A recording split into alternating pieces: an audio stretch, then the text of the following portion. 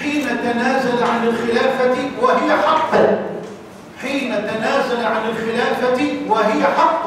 لمعاوية بن أبي سفيان وقال له وقد قابله بكتائب كأمثال الجبال. قال إن كان هذا الأمر لك فلن أنازعك في حق هو لك.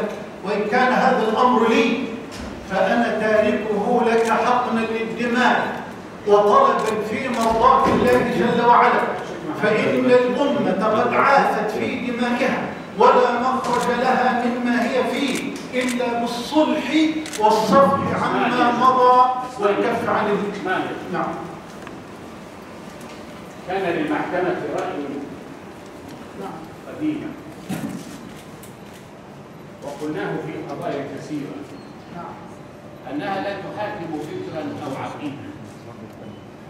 ولكن إذا تحول هذا الفكر إلى أفعال مادية. نتج عنها جرائم. هنا وجب العقاب. الإخوان المسلمين حينما حكموا كونوا فرقا سميت بلجان نوعية انتحموا أو اقتحموا مقرات للدولة خربوا حرقوا قتلوا اذا إذا كنت تقول أن النوايا يعلمها الله ألا ترى من هذه الأفعال أن نواياهم قد ظهرت على أرض الواقع أنا أقل بأننا لا نحاكم الأقوال والأفعال حاشا لله إذا ماذا نحاكم؟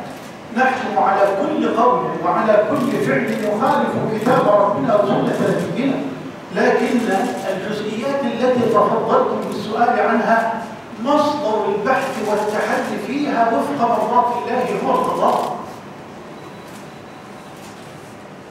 أنا بسألك بشكل عام عن رأيك في جماعة الاخوان ذكرت ما أدين به يا رب لأنني في الستين من عمري وأخشى أن ألقى الله بكلمة لا ترضي عني لسه شباب. في ما الستين تجيبش نفسك طب والسلفيين ما رأيك؟ السلفيون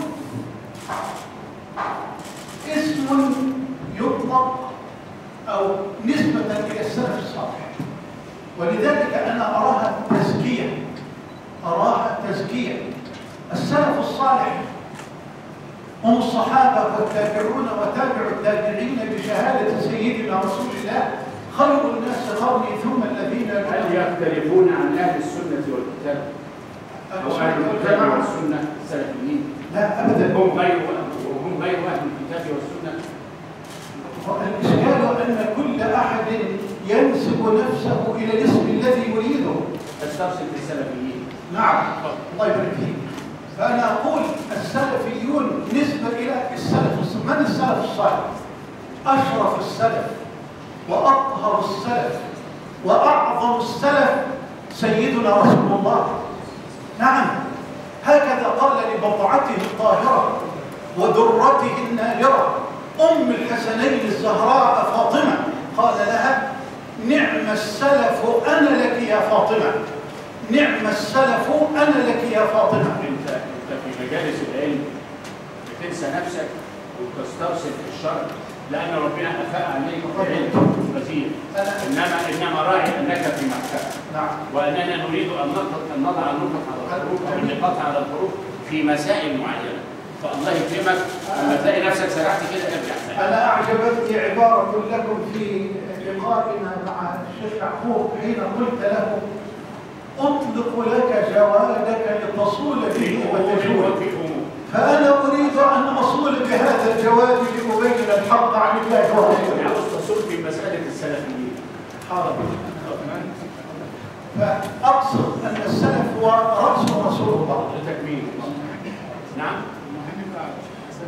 يا سيدي لما اكون بسترسل مع شاهد آداب المحاكمة والجلسة. يا سيدي ده أنت محامي. آخر الجلسة قول اللي أنت عايز تقوله اتفضل يا بيه الله يكرمك فالسلفيون نسبة إلى السلف الصالح لكن الذي يريد أن أوصله. وحاضر من غير روح. حاضر من غير روح.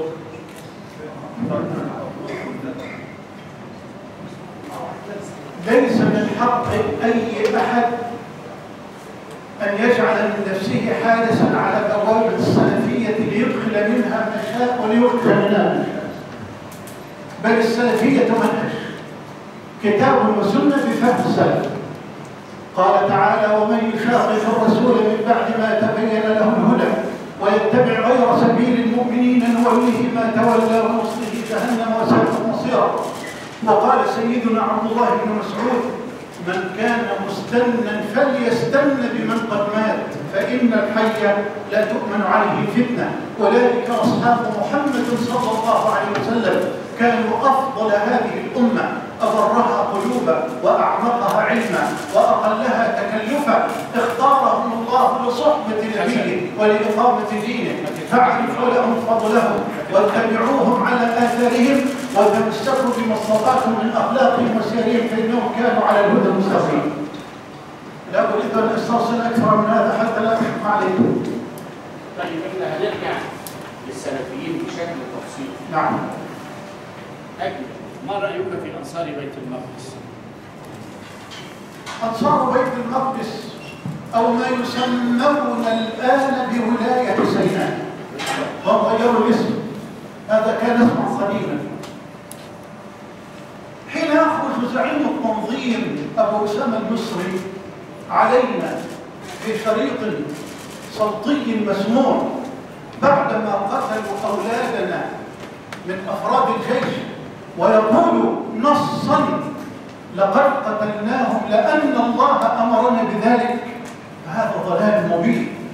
ورب الكعبة لا أقول ذلك إلا ابتغاء مرضات رب العالمين.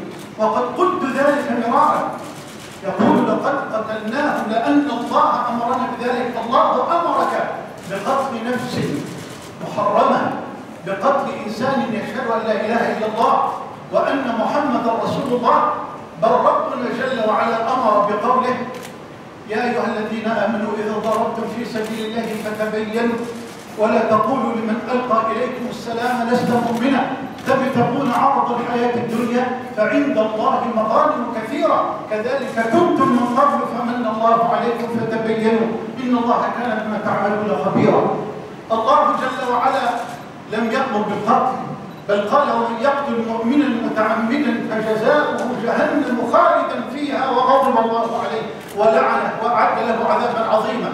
وقلت والله لقد يعني يعني أنصار بيت المقدس أو ولاية سيناء هم ليسوا على الطريق الصحيح. اطلاقا.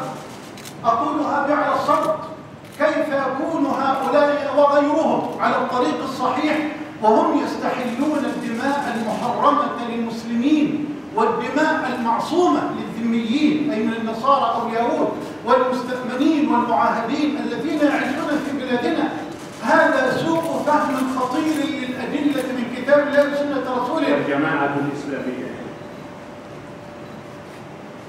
أنا أود أن يكون كلامي بفضل الله تبارك وتعالى كلاما عاما للجميع لأن المحاكمة يعني إذا كان كلاما عاما للجميع نعم. يعني كلامك أن هذه الجماعات كلها على خط واحد. ولا ولا دول بيختلفوا عن الجماعة الإسلامية كل جماعة من الجماعات قد تتفق في أصول عامة أصول كبيرة وقد تختلف في بعض الجزئيات أو بعض الفروع. من حيث الخطأ والصواب هل يشتركون أم يختلفون؟ أنا يعني أنا أحكم بالخطأ والصواب على كل قول وعلى كل فعل خالف القرآن والسنة. كهذا القول الذي ذكرته لحضرتك الآن. حين يقول ذلك فهذا قول مخالف للقرآن وللسنة وهذا خروج عن الجادة وعن الصواب. يعني الجماعة الإسلامية ينتهجون طريق الكتاب والسنة أم لهم جنود وشطط في بعض؟ كان لهم جلوح وشطط قبل ذلك وبعد المراجعات رأينا صورة مختلفة وتفصيلا جديدا.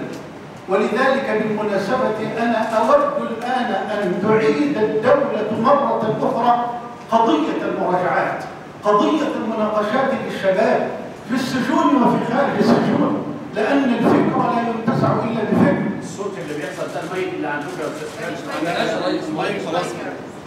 لو في مايك تاني اقفله يا عم. مفيش مايك اتفضل يا أن الفكر لا ينتزع إلا بالفكر.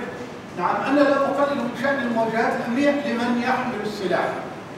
فمن لطخت يده بالدماء المحرمة أو المعصومة هذا يعالج أمنيا لكن الفكر السلاح يثبته. لا بد أن نحتضن شبابنا وأولادنا وأنا أقولها لله.